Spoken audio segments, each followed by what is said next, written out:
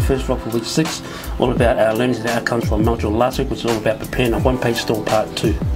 So part one, as you know, we had to look at product and services photography, product and services description, and social proof, which is all very important. For this module, we had to look at, and the first thing we looked at was video sales letter. So what is a video sales letter? It's a video to deliver your message in a clear and compelling way.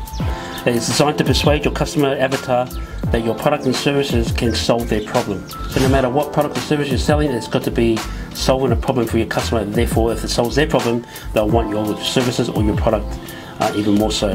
So the best thing is that you can do it a few ways. You can do it through text, you can do it through animation, you can do it through PowerPoint. But the best way to do um, a video sales letter is to do it in person, doing a video of yourself, describing your product and how that can um, help and solve the problem for your customer.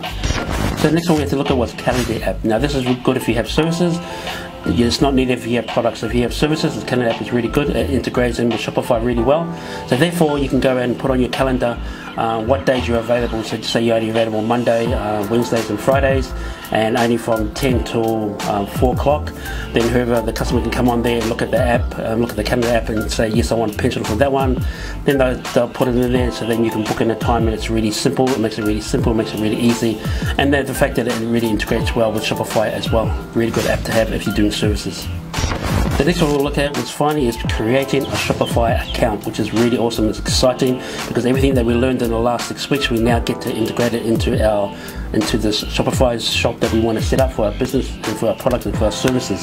So I just want to do a big mihi and a big shout out to, of course, uh, Te Whare Hukahuka and Ka Hao I Te Ao for this program, and also for you know allowing us to have this free scholarship.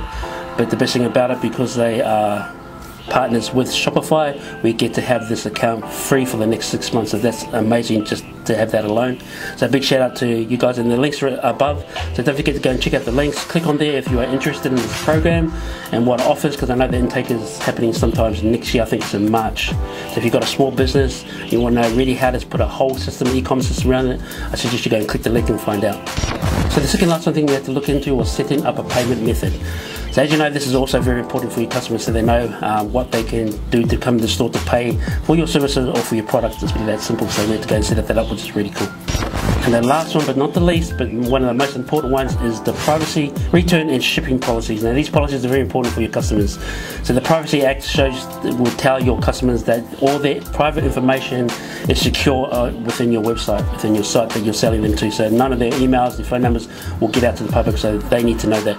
So the refund and return policy is also really good for them, for your customers, because that gives that allows them to know if they don't like the product or something's wrong with the product, they can refund it and they can return it pretty easily.